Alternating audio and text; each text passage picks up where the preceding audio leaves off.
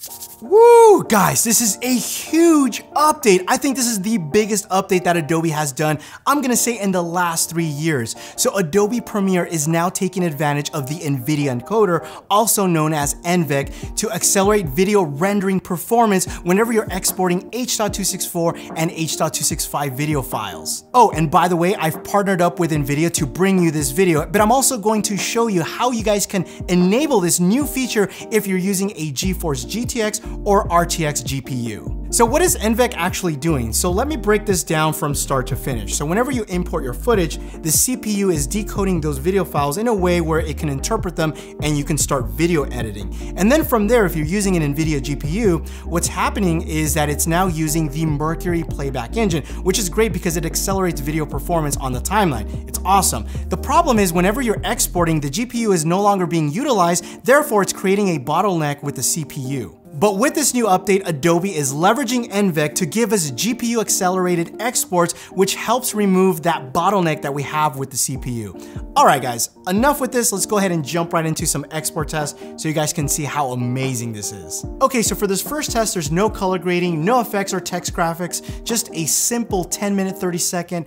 4K export. So without NVENC enabled, the export finished in about seven minutes and 22 seconds. Now, when we enabled NVENC, the results were actually quite shocking, which finished in 2 minutes and 25 seconds. That is over 200% improvement. Wow. Wow but I wanted to do something more real world. So I took a 10 minute, 12 second clip that I had done a couple of weeks ago that had mixed footage, had color grading, a couple of effects, and I just wanted to see what the difference was in a more real world test. Without NVENC enabled, it finished in 9 minutes and 50 seconds. And to Adobe's credit, that's actually not bad. It's pretty much a one to one ratio. It's getting much faster. However, with this new update, it finished in over 60% faster at 6 minutes and 5 seconds which is pretty amazing. Now, it doesn't stop there. We wanted to even push it further, and we took an existing project that had Canon C500 6K RAW footage. It also had Blackmagic Pocket Cinema Camera 6K RAW on a 3 to 1 compression ratio with USR 4K, different mixed frame rates. We did heavy color grading with multiple layers, sound design, you, you mean the whole enchilada over 13 minutes. So let's go ahead and see how it did. Without NVENC, it finished in 25 minutes and 26 seconds. Now with this latest update, it finished in 21 minutes and 1 second. That means that even in this worst case scenario, we're still seeing over 20% improvement in exports, which is awesome. Now I'm gonna show you guys how you can enable this if you are running a GeForce GTX or RTX GPU. So let's go ahead and jump right in. Now, in order to enable NVENC, you wanna make sure that you are running the latest version of Adobe Premiere Pro. Now, because I am filming this prior to the update going live, I had to do it on the beta version. The second thing you wanna make sure is that you are running a GeForce GTX or RTX GPU. Now let's go ahead and jump into File, and then go to Project Settings, General.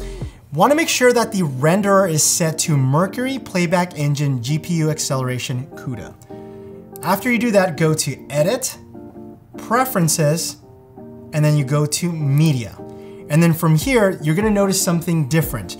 Make sure that this is selected. Enable hardware accelerated encoding and decoding. You may need to restart your computer or Adobe Premiere in order to make sure that that takes into full effect. Now, just for reference, I am going to jump into uh, Premiere 2020 prior to the update so that you can see the difference. It shows enable hardware accelerated decoding, so it doesn't have encoding. So you'll notice that's a different. And then finally, when you're ready to export your clip, I'm gonna show you the settings you need to use. So make sure you click on your timeline, go to File, Export, Media.